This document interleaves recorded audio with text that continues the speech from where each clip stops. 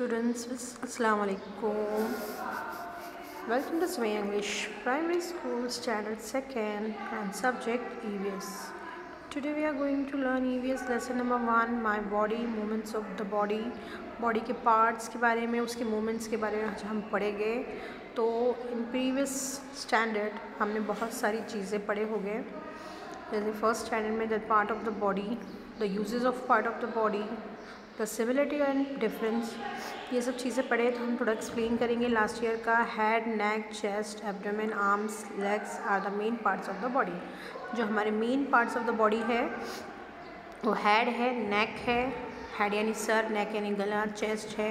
Abdomen arms and legs are the main part of the body the uses of the parts of the body the uses of main organs of the body and the sense organs हम उसकी sense कर सकते हैं, उससे चल सकते हैं। हमको पार्ट्स बॉडी का एक भी पार्ट अगर हमारा तकलीफ़ देता है, कुछ मार लग गया तो हम चल नहीं पाते। तो हमको ये सब चीज़ें क्या है, ज़रूरी है और उसकी यूजेस है, हम लोग किस तरह यूजेस करते हैं the similarity of the difference similarity and the different, though the parts of the body of the each of the, of us are similar, yet each one of its appear to sorry, be different from the other. सब चीज़ें हमें ज़रूरत रहती है, बस एक, हर part एक अलग, एक दूसरे से अलग होते हैं।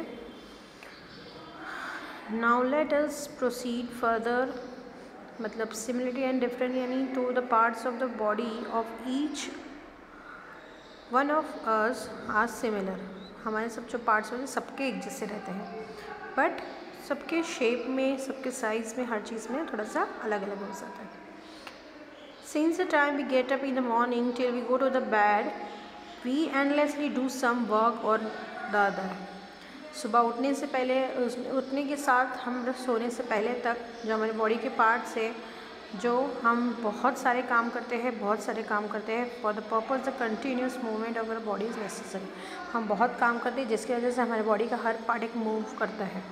Movement of the legs we use our legs quite frequently the movement of our legs help us to walk run jump extra legs का इस्तेमाल कैसे होता है? हमको मूवमेंट कैसे होता है? हम चलने के लिए, बैठने के लिए, उठने के लिए जंप करने के लिए हमको यूज़ होता है। The ankle and the knees of the legs bend the toes and to we are able to lift our legs from the हमारे जो लेग्स होते हैं, हम किससे चलने के लिए होते हैं? मूवमेंट ऑफ़ एंकल चलने के लिए एंकल भी यूज़ होता है। रन के लिए movement of the toes and knees भागने के लिए हमको टोज़ और नीज़ की ज़रूरत होती है, या नीज़ यानी घुटना हमारा। अभी कुछ पिक्चर्स दिए हुए हम बताएँगे कि किस तरह हमारे बॉडी के पार्ट यूज़ है टू स्कीप टू स्कीप के लिए एंकल एंड टोज़ यूज़ होता है। स्कीप यानी कूदने के लिए हमको क्या होता है? एंकल एंड टोज़ यूज़ होता है। To skip with the help of skipping rope skipping rope यानी जो स्कीपिंग रोप होता है, रस्सियों से हम जब जंप करते स्कीप करते हैं तो हमारे एंकल एंड नीज़ यूज़ होते हैं।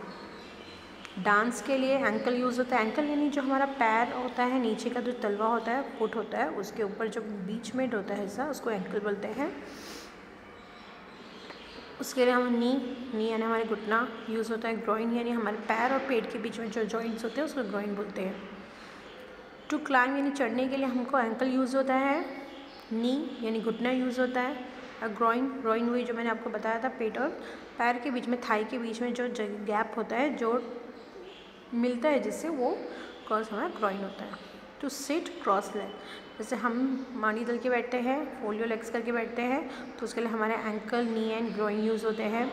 To ride a bicycle bicycle चलाने के लिए भी हमारे एंकल नी एंड ग्रोइन ये हमारे बॉडी के पार्ट्स है जो हमको चलने के लिए ये चीज़ हमको ज़रूरी है, ये यूज़ होते ही है। जैसे ग्रोइन एक हेड और नी एंकल ये हमारे चीज़ें कंपलसरी अगर इसमें तीनों में से कोई भी एक चीज़ में हमारे तकलीफ़ हो गई तो हमको ना उठने होगा, ना बैठने होगा, ना चलने होगा, ना वॉक करने होगा, कुछ भी नहीं होगा। Understood movement of arms the hand are the most important parts of arms जो आर्म्स उसके हमारे मेन इंपॉर्टेंट पार्ट क्या है? हैंड है। We move our hand very often we pick up the thing with the help of the our hand similarly we are able to write each of food and do a lot of work with our hand हमें हर चीज़ का काम जो हम हाथ से करते हैं, खाना खाते हैं हम लिखते हैं, कोई चीज़ उठाते हैं, हर चीज़ हमको किससे होती है? हाथ से हैंड से। We are able to bend our wrist elbow we are able to move our shoulder up and down and rotate them in a circular motion besides we are able to bend our fingers too हमारे हाथ की जो चीज़ें हैं, अगर एक चीज़ भी हमारी इसमें यूज़ नहीं हुई तो हमको क्या होता है, हमारी तकलीफ़, अगर हमें तकलीफ़ है तो हम अपने हाथ को यूज़ नहीं कर सकते हैं। हर जगह एक जॉइंट्स होते हैं, जैसे फिंगर्स है रिस्ट है पाम है, फिर हमारा एल्बो है शोल्डर है, ये सब चीज़ें हमारे हैंड के लिए है और ये सब चीज़ें हमारे हैंड के मूवमेंट्स के लिए यूज़ होती है। Look at the picture to draw rangoli rangoli के लिए हमारे फिंगर्स यूज़ होते हैं, यानी लिखने के लिए, कुछ ड्रॉ करने के लिए हमारे फिंगर्स यूज़ होते हैं। टू राइट लिखने के लिए फिंगर एंड रिस्ट यूज़ होते हैं। रिस्ट थोड़े हमारे टेढ़े मेढ़े होते हैं, जो हमारी कलाई होती है वो।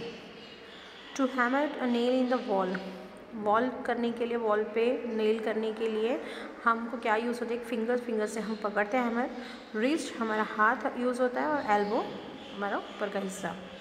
टू ईट फ़ूड खाने के लिए भी fingers wrist and elbow use होता है।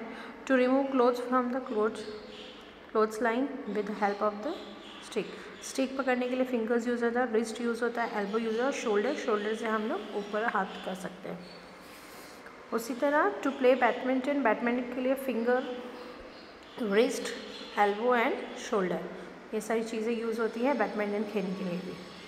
उसके बाद मूवमेंट ऑफ़ नेक नेक यानी हमारा गला यूज़ हो गला हमको, गले को यू हमारा जो मूवमेंट्स होते हैं we use our neck to look towards right and left side up down and little towards to back यानी हम अपने गले, अगर हमारे गले में कुछ प्रॉब्लम नहीं है तो हम बराबर से अपने ऊपर से नीचे कर सकते हैं, नीचे से राइट कर सकते राइट से लेफ़्ट कर सकते हैं और थोड़ा हम पीछे भी देख सकते हैं।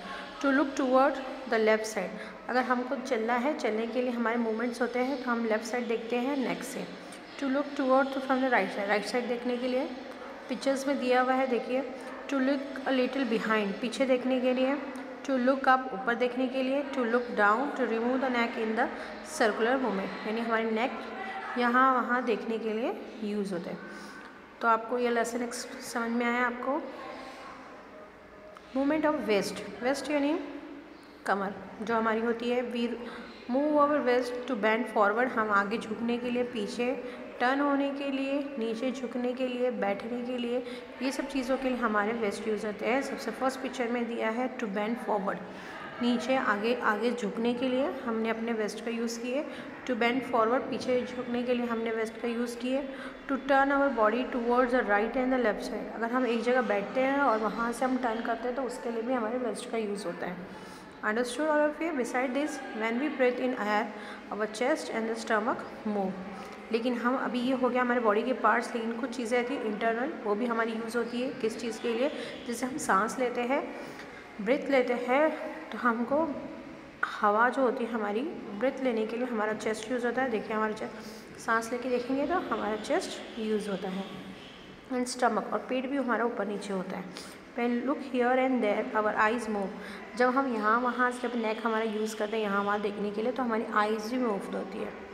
ठीक है? वैन वी टॉक हम जब बात करते हैं लाभ हँसते हैं तो हमारे लिप यूज़ होते हैं। हम बात करते हैं, हँसते हैं तो हमारे लिप्स यूज़ होते हैं। In this way all the parts of our body move इस तरह हमारे बॉडी के हर पार्ट्स क्या हो जाते हैं? मूव करते हैं, यानी चलते हैं यहाँ वहाँ हिलते हैं, तभी हमारे बॉडी का पार्ट जो होता है, हमको, हम प्रॉपर फ़ंक्शन होता है। यानी अगर हमारे एक भी पार्ट इसमें कुछ भी हमको प्रॉब्लम होता है या तकलीफ़ होती है तो हम अपने बॉडी को बराबर से मूव नहीं कर सकते। तो understood all of you okay students हाफिज़